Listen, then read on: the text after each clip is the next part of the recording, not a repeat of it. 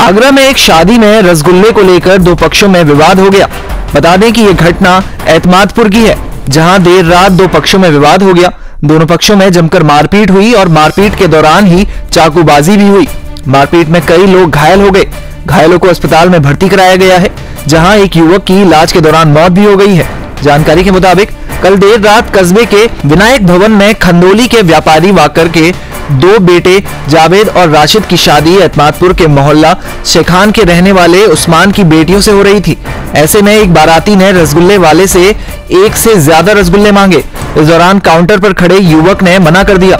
दोनों में विवाद होने लगा और देखते ही देखते विवाद इतना बढ़ गया कि रसगुल्लों के लिए चाकू निकल आए। इसी चाकूबाजी में बारात में आया 20 साल का सनी गंभीर रूप से घायल हो गया। जिसे इलाज के लिए अस्पताल ले जाया गया। लेकिन इलाज के दौरान ही उसकी मौत हो गई, जबकि कई लोग घायल भी हुए। हालाँकि घटना के बाद बारात बिना दुल्हन वापस लौट गई।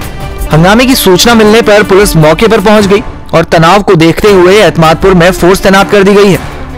वहीं भाई दूज की तैयारियों के बीच उत्तर प्रदेश के मैनपुरी ज़िले में जहरीली चाय पीने से दो मासूम समेत तीन लोगों की मौत हो गई है। वहीं दो लोगों की हालत गंभीर बनी हुई है, जिन्हें इलाज के लिए अस्पताल में भर्ती कराया गया है। इस घटना की सूचना पर पहुँची पुलिस ने तीनों शवों को कब्जे में लेकर पोस्टमार्टम के लिए भेज दिया और मामले की छानबीन शुरू कर दी है।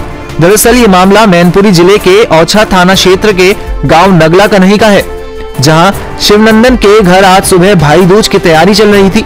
ससुर रविंद्र सिंह घर आए हुए थे। सभी लोग चाय पीने के लिए बैठे थे। चाय पीने के बाद रविंद्र सिंह की अचानक तबीयत खराब हो गई। वो बेसुध होकर गिर पड़े। परिजन जब तक उन्हें संभालते, तब तक शिवनंदन का बेटा छह साल का शिवांग और पाँच वर्षीय पुत्र दिव्यांश की भी हालत बिगड़ गई। जिसके बाद आनंद फानंद में परिजन तीनों को लेकर जिला अस्पताल पहुँचे, जहाँ डॉक्टरों ने रविंद्र सिंह, शिवांग और दिव्यांश को मृत घोषित कर दिया। वहीं दो लोगों को इलाज कर... वहीं दो लोगों का इलाज चल रहा है।